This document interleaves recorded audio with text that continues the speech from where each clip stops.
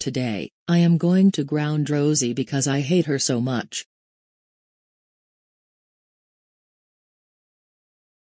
Rosie, how dare you hate me and my show, that's it. You're grounded grounded grounded grounded grounded grounded for life, go to your room now. Yes. I grounded Rosie.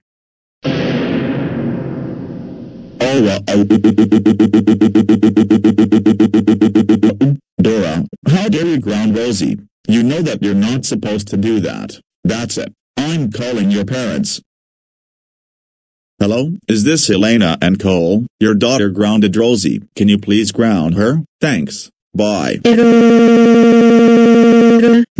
I cannot believe that. You grounded Rosie. You know that you're not supposed to do that. Take it. You're grounded grounded grounded for 365 days. Go to your room now.